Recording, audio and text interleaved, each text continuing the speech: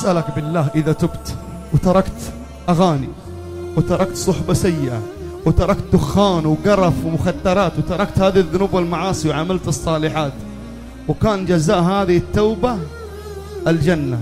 تكفيك ولا ما تكفيك؟ طيب إيش اللي يردك؟ يا أخي فرصة قدامك خلاص. ما تدري يمكن تروح تزيد في غيك يمكن بعدين تبغى ترجع ما عاد تقدر. مو على كيفك ولا باختيارك.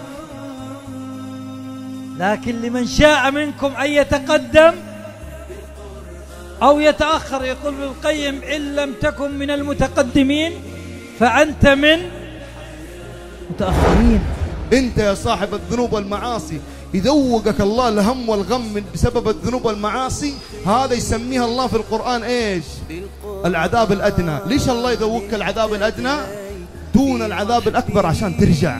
ليش الله يجعلك إذا عصيته وإذا بعدت عنه؟ يجي في قلبك هم وغم. وهذا يسمونه ويسميها الله في القرآن العذاب الأدنى. ليه؟ اسمع. ولنذيقنهم من العذاب الأدنى دون العذاب الأكبر لعلهم يرجعون. ظهر الفساد في البر والبحر بما كسبت أيدي الناس ليضيقهم بعض الذي عملوا لعلهم يرجعون. قلنا إذا تبت أول ثمرة لك وأول هدية من الله لك يا من تريد التوبة إيش؟ الجنة. ما تكفي؟ بس جنة؟ لا. زي ما قلنا في أول المحاضرة حتعيش متعة. متعة في الدنيا قبل الآخرة.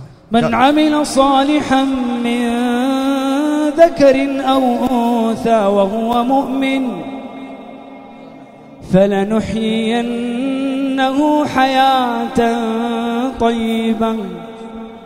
وأن استغفروا ربكم ثم توبوا إليه. ثم توبوا إليه. تاب. يمتعكم متاعا حسنا إلى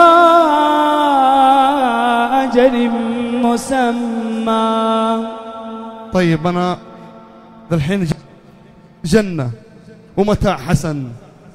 لسه أنا الحين جنة عظيمة ومتاع حسن. أنا بتوب خلاص أبغى أتغير. بس باقي لي مشكلة. البلاوي اللي سويتها المعاصي اللي عصيتها. ومن يعمل سوءا أو يظلم نفسه ثم يستغفر الله يجد الله غفورا رحيما. وهو الذي يقبل التوبة عن عباده. وهو الذي يقبل التوبة عن عباده ويعفو عن السيئات. شيخ يا شيخ أنا جالس معك ما صليت العشاء. ويعفو عن السيئات. جالس معك على جنابة. ويعفو عن السيئات. نكسى الحشيش في جيبي. ويعفو عن السيئات. ويعفو عن السيئات ويعلم ما تفعلون. لواط. إلا من تاب وآمن وعمل عملا صالحا فأولئك يبدل الله سيئاتهم حسنات. وكان الله غفورا رحيما.